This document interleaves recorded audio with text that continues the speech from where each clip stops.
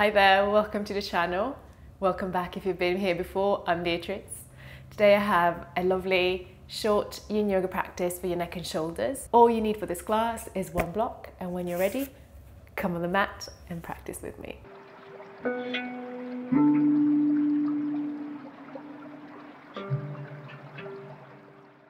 We'll start this class from seated. So I'll sit up on my block.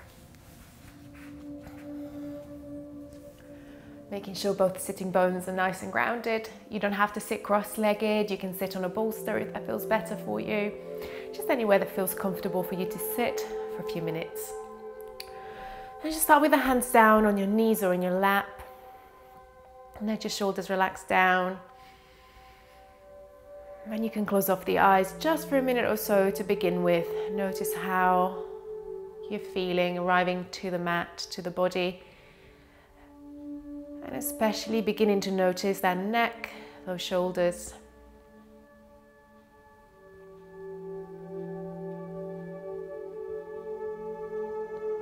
Guiding the breath softly in and out the nostrils.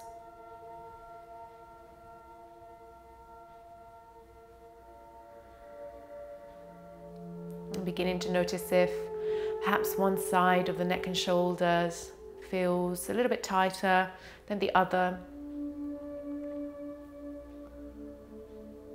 A little bit more need for practice. And just observe there's nothing you have to do.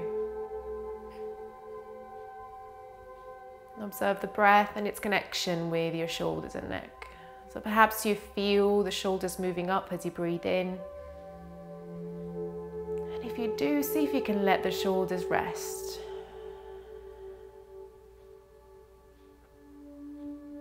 Invite the breath deeper down in the belly.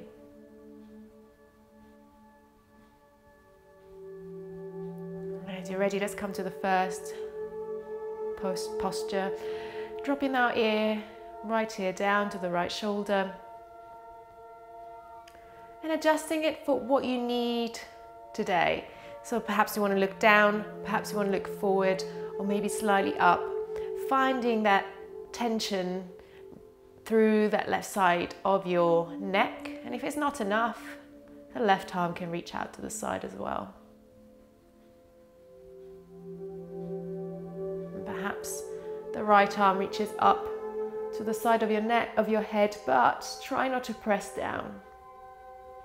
Allow just the heaviness of your hand to apply gentle pressure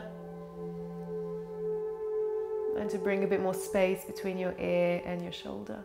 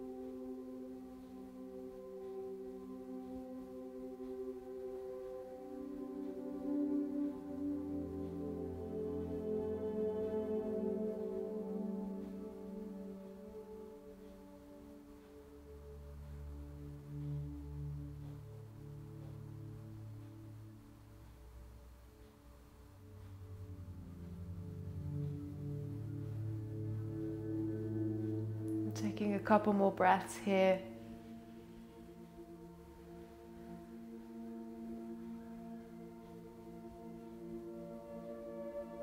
And then gently beginning to release that right arm if you have it up. Take the chin slightly down or gently down towards the chest. Take the hands back onto your knees and lift the head back to center. Just notice how it feels to have done one side. If it feels good for you, just move the neck and the head from side to side. Just bring some movement, gentle movement back into the neck. before we move to the other side.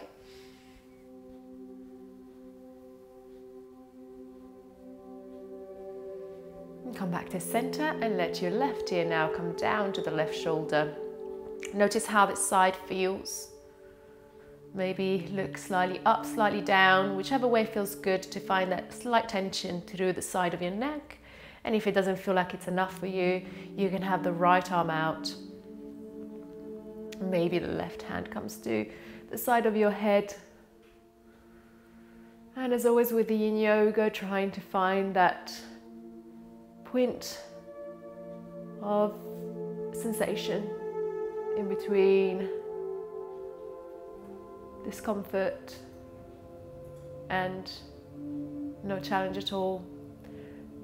So that's that's a point of sensation that doesn't hurt, but also is a little bit challenging.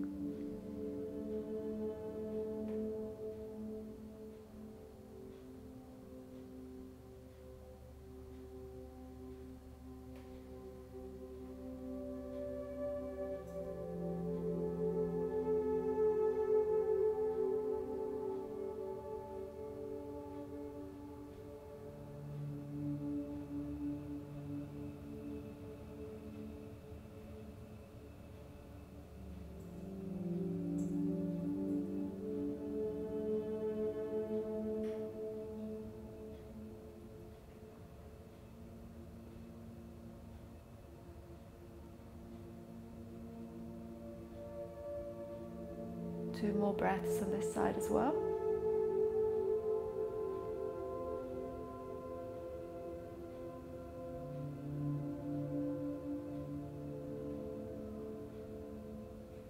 And then gently release, taking the head down to um, chin down to the chest. Coming to center and lifting the head up. And if it felt good before, perhaps repeat that swinging of the head from side to side looking over one shoulder and over the other. Noticing how our neck feels now on both sides.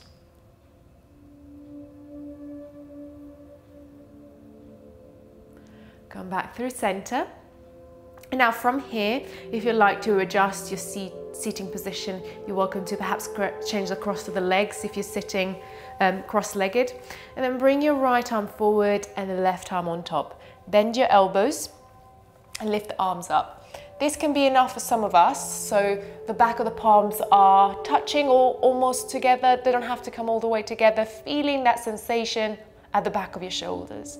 If this is not enough, wrap all the way around and find your palms, but try not to pull any finger down. and take your arms up and away. staying here for a minute or so.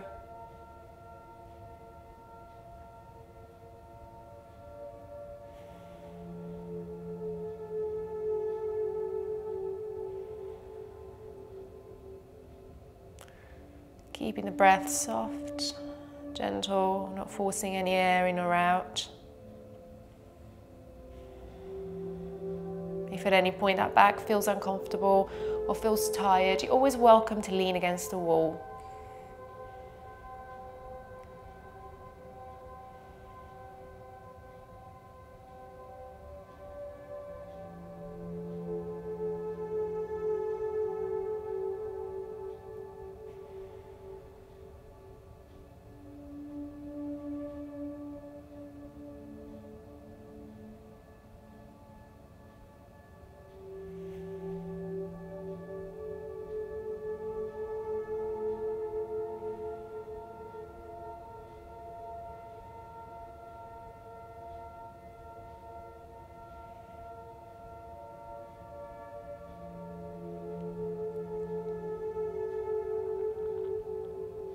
Begin to slowly unroll the arms. As you, as you can see, we're not staying here for a long time because it can be quite intense. And then open up the chest for counter pose. Now, if it feels good, you can interlace the hands into your, um, on your lower back, at your lower back. And then open up the chest and let your shoulders drop back. Shoulder blades come together. So come into the opposite way and you can take a bit of twisting from side to side.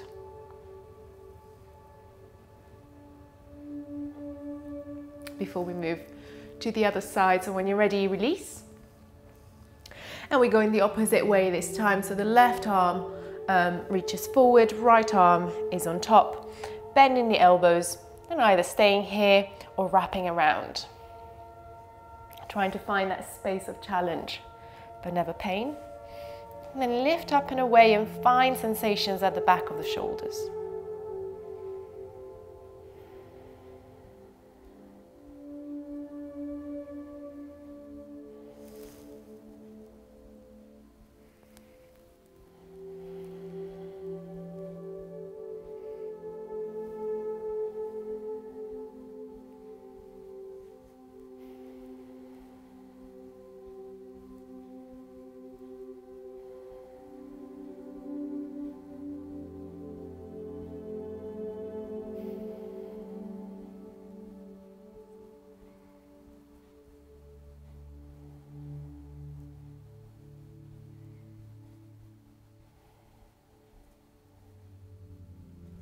As we do this, trying to maintain softness through the neck.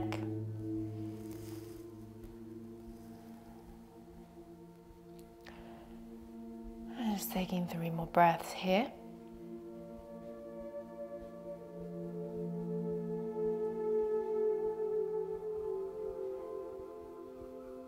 And gently releasing out, opening the chest, dropping the shoulders back and down, and perhaps interlacing the fingers to our lower back and away. Opening up the chest the opposite way and the shoulders the opposite way.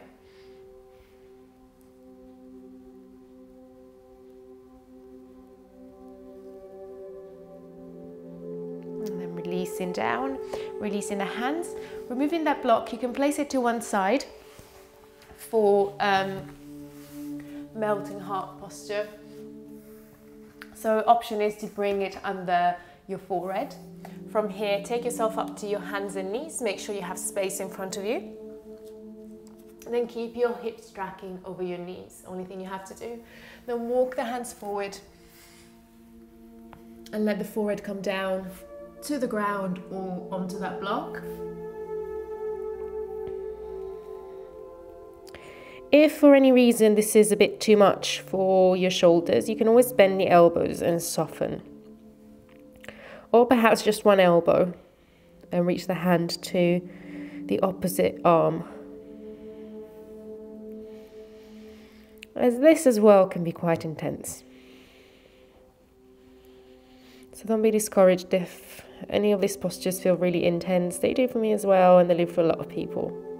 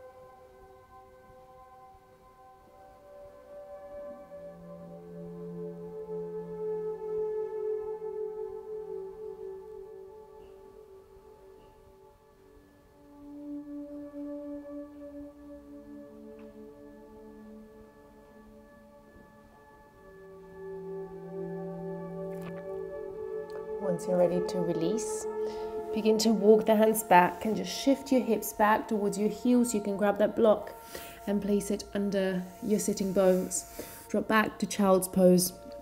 And bring your hands either side of your legs. So we come into a narrow legged child's pose with your knees quite close together. And let your back round and your shoulders drop.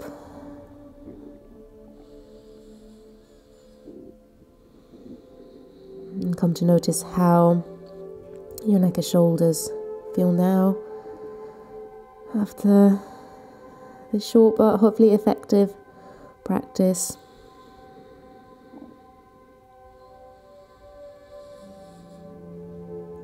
And you can stay here in child's pose for as long as you need to. But if you're ready for Shavasana, you're welcome to bring yourself up to your hands and knees and gently onto your back. There is no Shavasana included in this video, however, I'm going to link one for you. You can click onto and also practice a lovely guided Shavasana. Thank you so much for practicing with me today. If you enjoyed, please like and subscribe and share with your friends and family. Thank you very much.